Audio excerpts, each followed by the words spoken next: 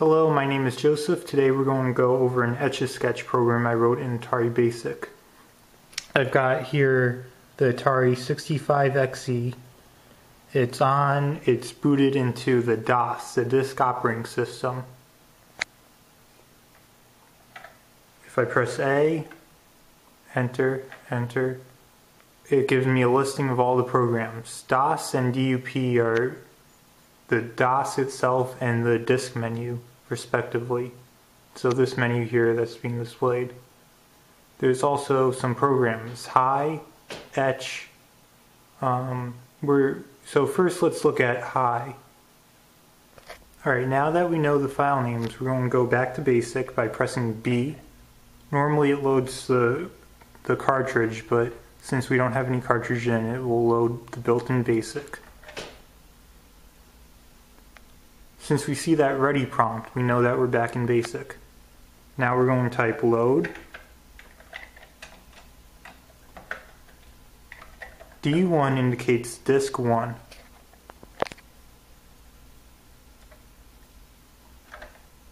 The file is hi and the extension is dot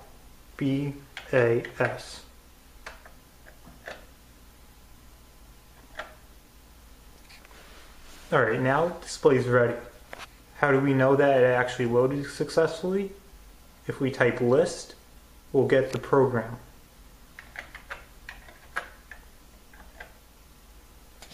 So we see the program listing. There's line numbers at the side here. Line 10 has a for loop. So from i equals 1 to 10, that means that we're going to repeat the loop 10 times. Line 20 is print hi. That means it's going to display on screen the letters HI. And then 30 is next I. So that just means that's going to do the next I, the next iteration of the for loop.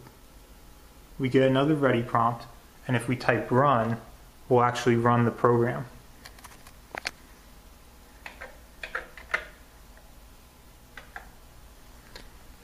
So we get 1, 2, 3, 4, 5, 6, 7, 8, 9. We get 10 highs. What if we want to modify the program? Well, if we just type a line number by itself, it'll delete that line. So if we just type 30, enter, and type list, now we just have line 10 and 20. Now if we try to run it, it's not going to work. It's not going to do the loop because there's no next I. So it's just going to print once and then end the program. If we want to add a new line, you have to type a line number first. You want to make sure that it's not the same as an existing line because if it's an existing line, it will just replace that line. That's what you do if you want to edit a line. So 30 space next I enter. Now if we list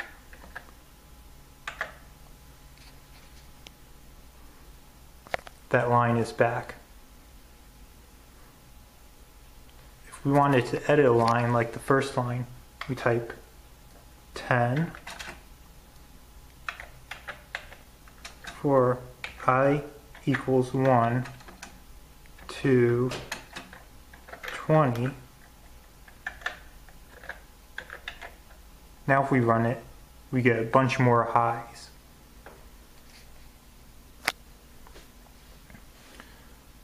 Alright, now I'm going to load the other program.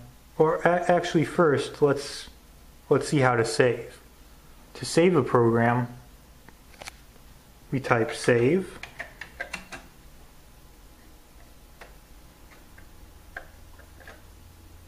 Disk one.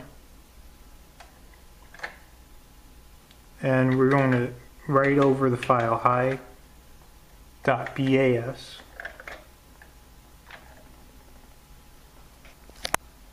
Alright, so it saves. Now let's load the other program. Um, what was it called? Let's just check what it was called again. So I'm loading the DOS. This is the DOS. A lists the program. Oh, yeah, it's Etch. So press B, enter. Now it's ready. So load.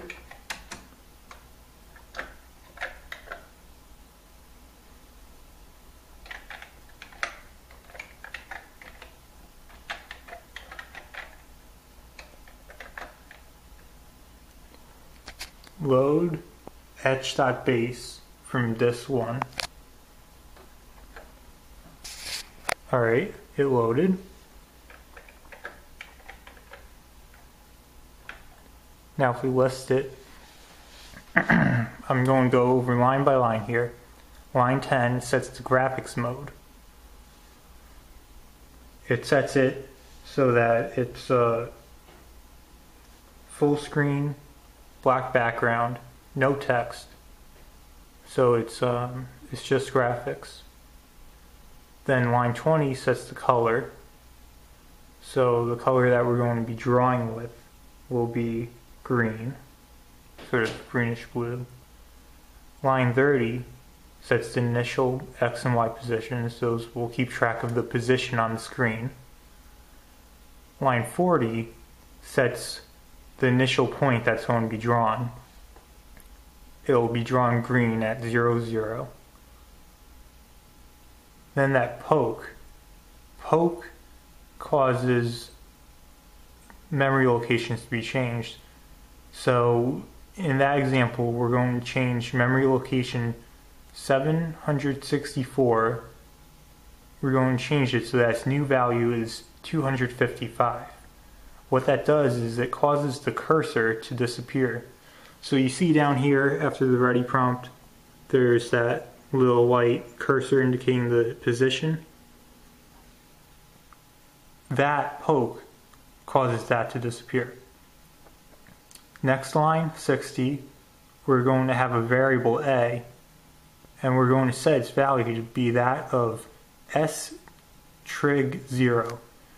What s trig is, is it's the button on the joystick. So, um,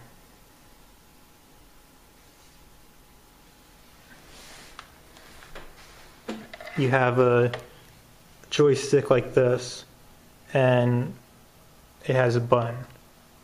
When the button is pressed, it's going to be zero. When it's not pressed, it's going to be one. So the value of S trig, so the value in A is going to be one if it's not pressed, zero if it is pressed. And the zero there, the S trig zero, that just indicates that it's going to be the first joystick. So zero is joystick 1.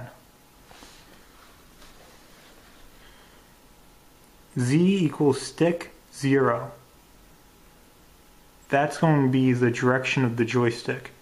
So 0 indicates joystick, so stick 0 indicates joystick 1.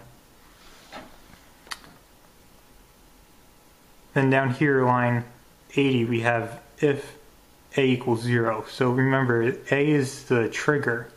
So if it's 0, that means that's pressed. Then we're going to go to line 10. So we're going to jump back up to line 10 where we set the graphics mode. What that's going to do is it's going to erase the entire screen. So it's going to reset everything. So the button is going to be a reset button. Then the next line, if z equals 14, um, the joystick has different values depending on which direction you're pressing it in. So 14 is going to be down. So if you press the joystick down, then the Y value is going to be the previous Y value minus 1 and you're going to go to 140, which we'll look at later. Next line, if it's 13, which is up, then you're going to increment the y. Um, and similarly with left and right, right's going to be 7, left is going to be 11. You're going to change the x values and you're going to go to 140. So 140 is going to be if y is less than 0, then make it 0. So these four lines here are just going to set the values so that if they're off the screen, they're going to be back onto the edge of the screen. Then after that, line 180 is going to draw to XY. So that's going to draw from the last point drawn to the current XY position. So initially it's going to be from 0 to say 0, 1, and then it's going to keep doing that each time through the loop. So then you're going to go to line 50. That's going to go back up um, to the poke. Actually, it, it could be line after line 60. Since if we do the poke once, it's going to keep the, the cursor off. So that should actually be line 60, where we're going to get the new value of the trigger and the stick. See, you know, if they're pressed or not. And then we're going to repeat it all over again. Repeat the whole draw routine over again. So that's it. I'm going to run it now. We'll see how it runs. Um, So I typed run there. And if I press enter, the whole screen got black.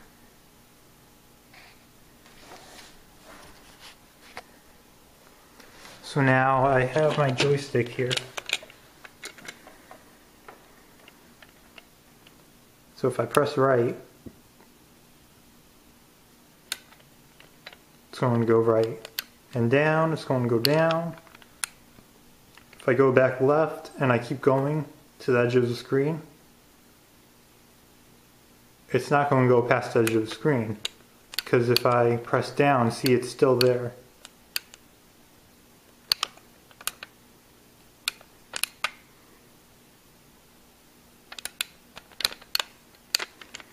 So now, if I press the button, it's going to all reset and it's going to continue from the beginning of the draw routine again.